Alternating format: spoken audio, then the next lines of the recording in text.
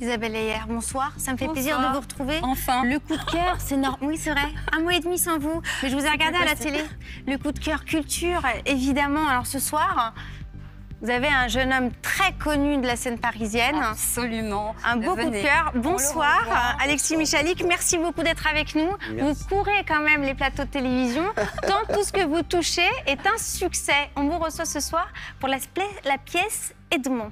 Edmond, tout à fait. Alors, pour resituer euh, Alexis Michalik, que tout le monde connaît quand même, mais il faut savoir qu'il est comédien aussi, il est réalisateur et donc ce grand auteur et metteur en scène qui est euh, aujourd'hui euh, dans le top de la scène parisienne du À théâtre. 34 ans seulement. Voilà, déjà. Et donc, la pièce qui cartonne actuellement au théâtre du Palais Royal s'appelle Edmond.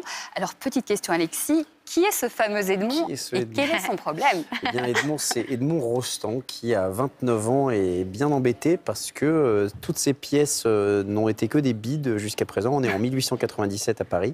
Et puis, il écrit en alexandrin des pièces un petit peu empoulées, un petit peu ennuyeuses.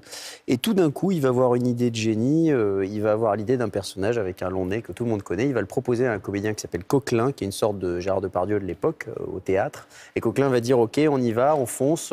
On joue dans un mois, sauf qu'il n'a pas écrit une ligne. Donc c'est l'histoire de ce mois qui va, qui va mener à la création de Cyrano, auquel personne ne croit à l'époque, et qui va être un triomphe euh, sans précédent. Pourquoi vous vous êtes inspiré d'Edmond Rostand, un auteur? Vous auriez pu en, en choisir un autre, celui-là Bah, moi, mon, mon envie, elle vient d'abord de Cyrano, de Bergerac, Ah. euh, parce que c'est une pièce merveilleuse que tout le monde aime, que tout le monde connaît, etc. Et donc, euh, en me renseignant sur cette pièce, euh, j'ai appris que l'auteur, Edmond Rostand, l'avait créée dans ces conditions un petit peu particulières. Déjà, j'étais très étonné d'apprendre qu'il avait que 29 ans quand il a, quand il a écrit Cyrano. On a l'impression que c'est une œuvre. précoce, hein Ah, ouais, c'est ça, voilà. je me suis vachement identifié. c'est ça. Non, mais, voilà, c'est quand même une œuvre extrêmement mature. Et quand on se dit qu'un jeune de 29 ans fait ça, c'est assez extraordinaire. Et puis, les conditions de cette première, c'est quelque chose d'extraordinaire. Même le, dans, la, vraie vie, quoi, enfin, ce qui s'est passé vraiment, c'était. euh, euh, personne n'y croyait. Tout le monde venait en, étant persuadé d'assister à une boucherie. Et en fait, ça a été. euh, d'acte en acte, un triomphe grandissant.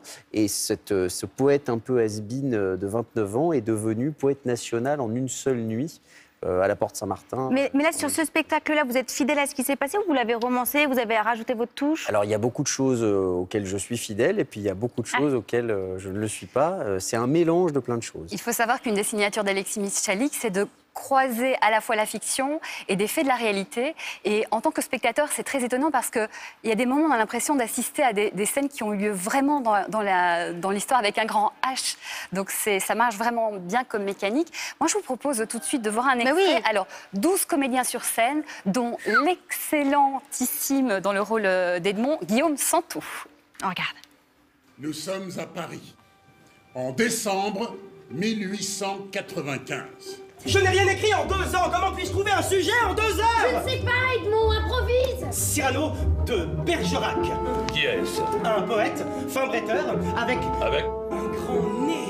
un grand nez Il m'a commandé une pièce en trois actes. Mais c'est merveilleux Merveilleux peut-être, sauf que je n'en ai pas écrit une ligne. Edmond, personne ne te connaît. Tu n'as fait que des fours et Coquelin te commande une pièce. Champagne On ne peut pas monter Cyrano en trois semaines. Molière a monté Tartuffe en huit jours. Eh bien, mes amis, ça sent le succès. Pardon, Coquelin, pardon De quoi Pardon de vous avoir entraîné dans cette galère Tout va bien se passer. Vraiment Mais oui, au pire, on se retrouvera en prison. En prison Tout va bien se passer. Répète, Edmond Edmond Edmond Edmond Edmond Edmond Edmond Edmond Edmond Edmond Alors, ça- ah, une chorale, on a très envie. Alors, je vais vous dire une chose, j'adore le théâtre. J'ai malheureusement, comme d'autres Français, peu l'occasion euh, d'y aller. Et quand on cherche des pièces, euh, bah, parfois on se plante. Alors, du coup, ça crée des cicatrices. Je voulais vous dire une chose. Edmond, quoi. Edmond, et puis aussi le porteur d'histoire, dont j'ai beaucoup entendu parler. Je vais être honnête, je ne l'ai jamais vu. Je n'entends que des éloges. C'est toujours joué euh, dans les scènes Parce qu'on parisiennes. vous attend. Et, et en province aussi. Est-ce que vous pouvez euh, raconter à nos téléspectateurs qui, comme moi, ne l'ont pas De vu quoi parle le porteur Exactement. d'histoire C'est impossible. C'est Ah. une pièce impitchable, mais ça se passe sur plusieurs époques. Euh, ça mêle effectivement l'histoire et la fiction. Euh, on va juste dire que c'est une sorte de quête littéraire.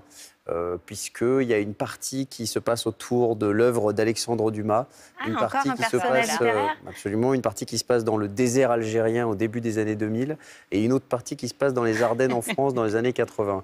Et tout ça s'entremêle, et au final, évidemment, ça ne formera qu'une histoire, mais il ne faut, faut pas trop en dévoiler, il faut juste un aller. tourbillon, cette pièce. Moi, je suis sortie de là, je pouvais dire que c'est époustouflant, époustouflant. Je dois dire que c'est euh, dans mon top euh, one. Oui, mais je crois que c'est ma pièce préférée au C'est une monde. pièce qui est née à Avignon dans un tout petit théâtre et qui petit à petit a grandi, grandi, grandi. Et aujourd'hui, bah, ça se joue encore. On en est à je sais pas, 250 000 spectateurs, euh, plus de 1000 représentations. Non, mais ça, c'est- 34 ans, reconnus pour la qualité de vos spectacles, récompensés aussi, Isabelle. Récompensé, figurez-vous que Monsieur Michalik, à 32 ans, se paye le luxe euh, de récolter deux Molières. C'est pas mal. Donc le Molière du meilleur auteur, hein, tant qu'à faire, et puis le Molière du meilleur metteur en scène pour non pas une, mais deux pièces. Donc le porteur d'histoire et en plus le cercle des illusionnistes, qui est la pièce qui a juste succédé au porteur d'histoire. Voilà, donc c'est va pas bien mal. Ouais, c'est pas mal. Molière que vous portez très bien. A-t-il une recette hein, Ah, pour tous ouais. les auteurs Alors- qui aimeraient suivre votre parcours? Moi, j'ai un petit peu décelé de trois petites choses. La recette d'Alexis Michel. Vous prenez un plateau. D'accord. le plus vite possible tant qu'à faire. Vous y mettez des super comédiens. Éventuellement quand même quelques petits accessoires, deux, trois tabourets, quelques, petites choses. Et il y a un accessoire, absolument, si vous voulez faire du Michalik, c'est les portants auxquels vous, sus- vous suspendez des tas de vêtements, des tas de vêtements. Vous laissez mijoter pendant une heure et demie. et de là, après ça, ressort un spectacle absolument délicieux. Et pour vous donner l'eau à la bouche, Un voici quelques images. Ma théorie est simple.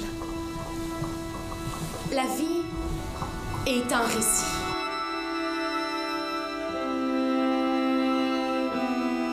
Moi, je porte une histoire. J'ai un jour croisé la route d'une histoire tellement incroyable, tellement extraordinaire, qu'elle a changé ma vie, qu'elle est devenue ma vie. Des livres quoi? Des livres pourquoi? Des livres comment ça? Des livres? La même écriture partout, une femme, une vie entière racontée dans les carnets. Attention, je mets les gaz Je plaisante Après un voyage de 10 ans, après une quête qui m'a mené aux confins de ce monde nouveau, je touche au but. Nous touchons au but.